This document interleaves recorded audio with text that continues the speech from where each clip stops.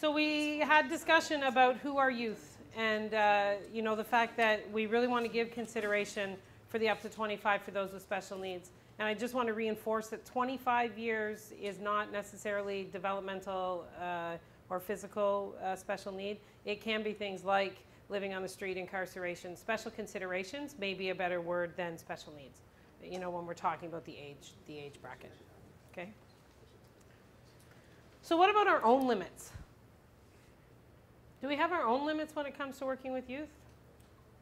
Right? Preparing for the front line, being thrown out there. Here you go, here's the youth center in town. You're the new staff person. You're 17 years old or you're 26 years old and you're going out there on a Friday night to play basketball with a bunch of young people. Are you ready for that? Right? We want to make sure our staff are ready for that. And you as staff want to make sure that you're ready for that. We also have to make sure we're ready to address the differences. Because believe it or not, no two young people are the same. There's news. Newsflash. Right across headline, tomorrow's Toronto Sun. Just been discovered, no two youth are the same. That's not a newsflash for those of us who work with youth. We talk a lot about safety and youth being safe.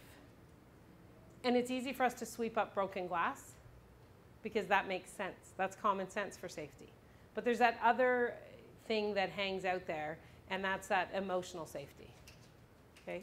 Uh, we try as leaders to ensure that kids aren't being bullied. We try as leaders to make sure that you know young people feel safe.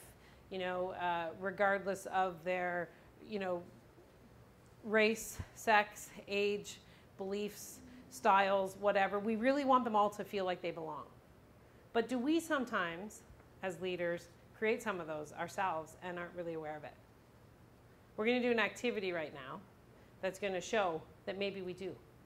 And it's really just a chance for you to address your own differences and your own limits and maybe see how you see things from a different perspective. Okay? What I need you to do, this is a get up and work kind of thing. Um, I'm trusting that the 24 of you can break into four groups of five and one group of four and gather around the five flip charts that are around the room. Okay? So we need uh, three groups of five and one group of four. And if you can go to the flip chart, I'll give you your next instruction. Within your group, what I want you to do is I want you to find a partner, a group of three. We're just going to have a real quick heart to heart with our new friends. Um, if you don't know who they are, please introduce yourself and, you know, so that you can have the discussion. What I, this is a bit of a reflection exercise before we dive into the big group activity. All right? Here's what you're going to do. What I want you to do with your partner or your group of three is I want you to talk about a time where you felt you didn't fit in with a group. Okay? Most people, if not all people, have had that thing happen. You know, where you've gone into a space or you've gone, it does, it could be today, it could be when you were a young person, it could be, you know, uh, you know, when you were a, a kid. But that one time when you felt you didn't fit in. And when you have that discussion with your partner or your group of three, talk about where you were, who you were with, what was going on in the space or the activity. But most importantly, talk about how you felt about the situation. Okay? Is everybody ready to do that? Talk about how you felt when you knew you didn't fit in. Okay, I'm going to give you three or four minutes to do that.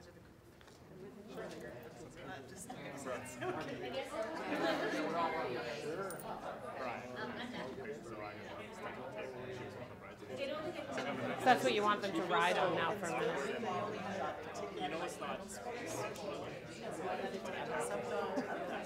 We'll leave them as five.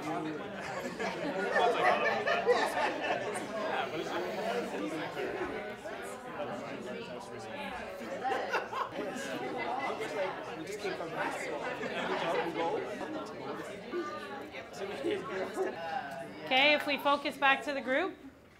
Okay, good. How about you tell me how you were feeling when you didn't fit in? Anybody got want to share some of those feelings? Isolated, uncomfortable, different, awkward, awkward rejected, rejected, stifled, anxious. anxious. What were you focusing your own attention on at that point? What was that? Surviving. Surviving right? I mean, that's pretty, that's a pretty animated word. You just wanted to survive that moment, that second, right? It's our job as youth champions and youth workers to make sure that feeling never, ever, ever happens. And that's tough. right? Youth express themselves differently in how they look, how they feel, what they wear, what music they listen to, what part-time activities, extracurricular activities they have, what culture groups they belong to, what social groups they belong to. You know, schools have, you know, their cliques are all still there than when I went to school, and I'll admit it, in the 80s. Right? I mean, we had clicks then too. Oh, power to the 80s, that's right. Power to the 80s. Okay, sorry. Okay, so here's what we want to do. You've got that kind of negative, antsy feeling right now, and that's good, because that's what I want you to ride on for a minute. When I say go, and not until I say go, because that's my magic word, um, there's a piece of masking tape on the side of your flip chart. When I say go, somebody in the group is going to lift that piece of masking tape. Yep, okay. On the pad, there's a photo of a youth, of a group of youth. What I want you to do is to talk and write down assumptions that you make when you see this group of youth. What do you see? Who are they? Okay? I don't want you to have on your youth champion hat. I want you to be John Q. Public on the streets, right? Because we tend to come with open eyes anyways, right? We don't see that they've got 32 earrings in one ear. We don't see that. We just see the young person who comes through the door. Or I like to think that as champions we do, right? But we really have to understand that sometimes we don't just see, we, we, sometimes we do see the 32 earrings, okay? And that's what this activity is about. So what you're going to do is, when I say go, you're going to flip it. You're going to look at it. You're going to be the old lady on the corner. You're going to be the lady in the grocery store. You're going to be the man who's got his car parked at, uh, you know, a, a corner and waiting while, you know, this group of young people are standing on the side of the road beside him. Okay? That's what I want you to think about. Okay? Write down everything. There's no right or wrong answer. It's what you feel, what you're assuming, um, and what, uh, who they are and how they might behave. Write them down on the around the flip chart, not on the photo, please, but around the photo. Okay? Go. I was gonna say, I was gonna say, I was gonna say. Yeah? Hey, it's all about your. There's no right. Or wrong answer.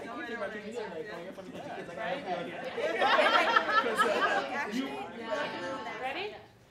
Here's what you're going to do now. I've already told you that my magic word is go.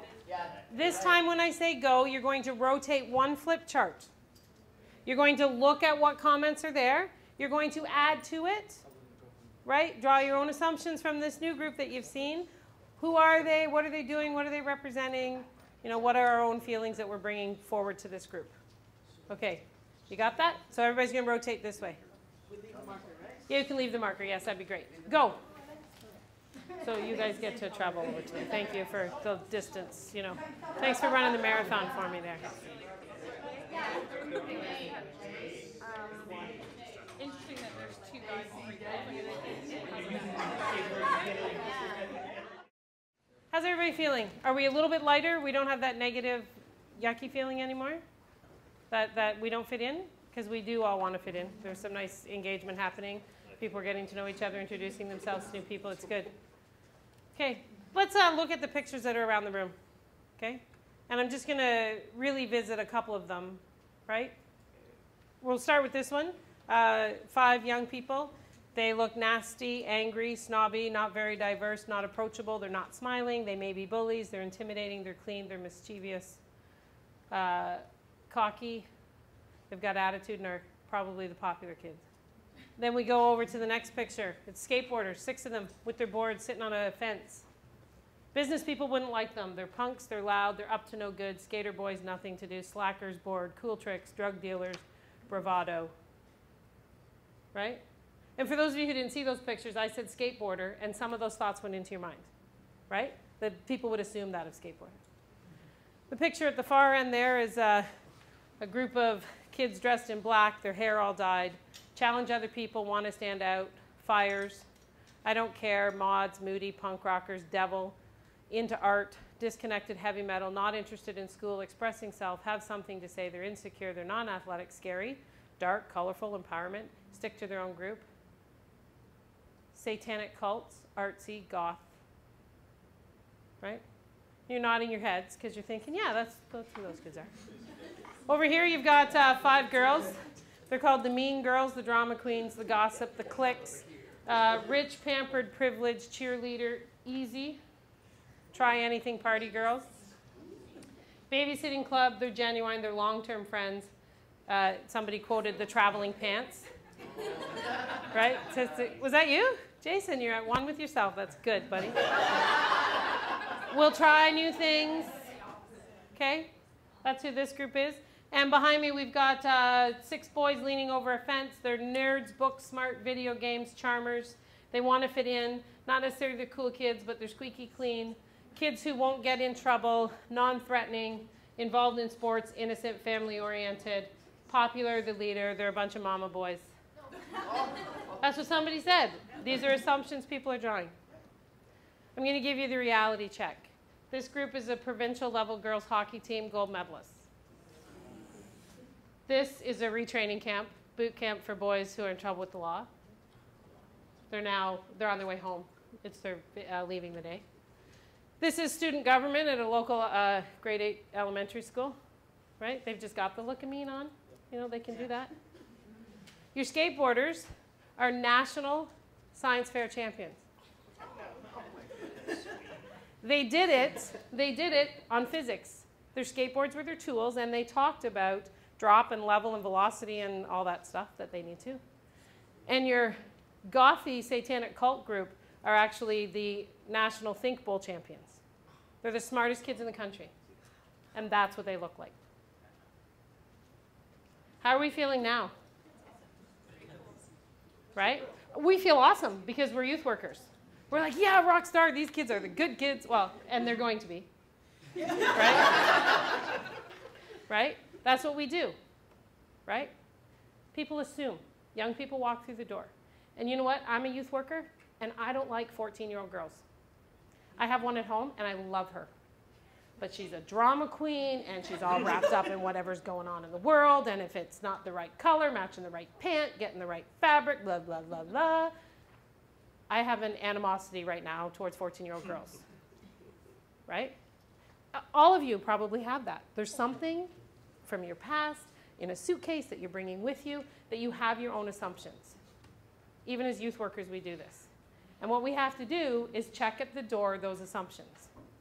If I'm going into a room of youth and there's 16 year old boys playing pool and 14 year old girls playing cards, guess where I'm going? To the 16 year old boys, and I'm turning to my partner and saying, Take on those girls for me, will you?